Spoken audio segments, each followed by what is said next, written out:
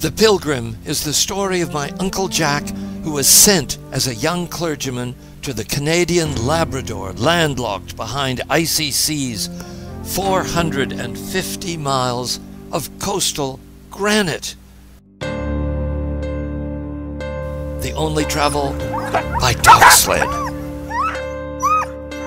Though these doggies look nice, they could tear and devour any woman or child when they smelt blood. This will be the first book you'll ever read about villages like Mutton Bay on this freezing shore.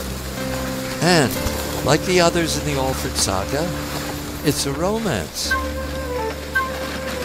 But first, it's how Jack raced over frozen wastes to save abandoned babies, freezing families, small boys whom he taught, no teachers in those days, attacked by eagles as they plundered nests for eggs to feed their hungry families.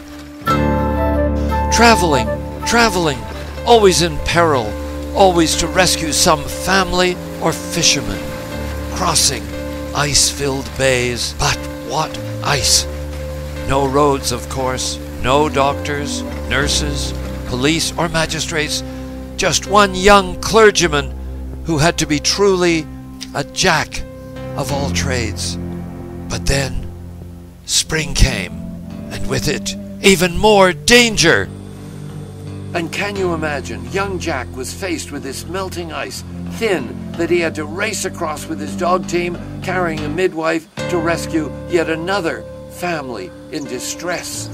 So, I hope you'll all rush out and buy this beautifully produced book, and it's also available on internet and will be on audiobooks of the romantic adventure The Pilgrim.